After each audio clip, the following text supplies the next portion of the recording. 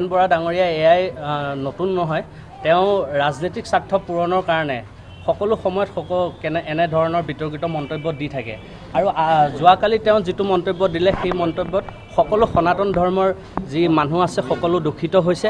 আৰু আমি সকলো সত্ৰৰ পৰা লৈ পেলাই যি আমাৰ ধৰ্মীয় অনুষ্ঠান প্ৰতিষ্ঠান আছে সকলোকে অসমৰ সকলো ধৰ্মীয় প্ৰতি- প্ৰতিষ্ঠানৰ যি সমিতি আছে তেওঁলোকক আমি অনুৰোধ কৰিম যাতে বিগত দিনত ভূপেন বৰা ডাঙৰীয়াক প্ৰৱেশ নিষেধ কৰে তেওঁলোকে। কিয়কি তেওঁ যি আমাৰ আৰাধ্য কৃষ্ণৰ ভগৱান শ্ৰীকৃষ্ণৰ ওপৰত যি লাভ জিহাদৰ মন্তব্য কৰিলে মহাভাৰতক লৈ যি লাভ জিহাদৰ মন্তব্য কৰিলে মহাভাৰতৰ ধৃতৰাষ্ট্ৰৰ বিয়াৰ ওপৰত তেওঁ যি লাভ জিহাদৰ কথা ক'লে তাৰ বাবে তেওঁক কেতিয়াও কোনো ক্ষমা নকৰে আৰু সনাতন ধৰ্মৰ মানুহে কেতিয়াও তাক তেওঁক ক্ষমা ক্ষমা নকৰে। তেওঁ যিমানেই ক্ষমা বিচাৰক যি কৰক কিন্তু আমি বিচাৰিছোঁ যে তেওঁৰ ওপৰত আইনীভাৱে বিহিত ব্যৱস্থা যাতে প্ৰশাসনে লয় তাৰ বাবে আমি এখন এজাহাৰ আজি দিছোঁ। আৰু বিগত দিনত যাতে তেওঁ এনে মন্তব্য কৰিব নোৱাৰে তাৰ বাবেও তেওঁক আমি সকীয়াই দিছোঁ।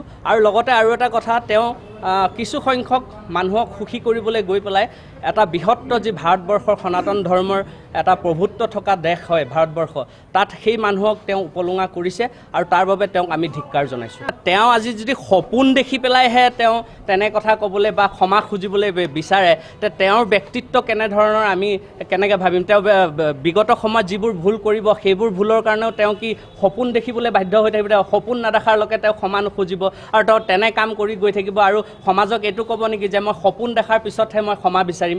তেনে তেনেকুৱা কথা উপলুঙা কথা ক'লে তেওঁক অসমৰ ৰাইজে আৰু ভাৰতবৰ্ষৰ ৰাইজে তেওঁক ক্ষমা নকৰে আৰু বিশেষকৈ কংগ্ৰেছৰ যি তেওঁ সভাপতি পদ লৈ আছে সেই সভাপতি পদৰ পৰা যাতে অতি শীঘ্ৰে তেওঁক আপোনাৰ বহিষ্কাৰ কৰিব লাগে নিলম্বন কৰিব লাগে। কিয়কি এনে এজন ব্যক্তিয়ে কোনো দলৰে স্বাৰ্থত কেতিয়াও কাম নকৰে আৰু যিকোনো দলৰ এটা নীতি আদৰ্শ থাকে যদি কংগ্ৰেছৰো নীতি আদৰ্শ আছে এনে ব্যক্তিক দলৰ পৰা তেওঁলোকে বহিষ্কাৰ কৰিব লাগে।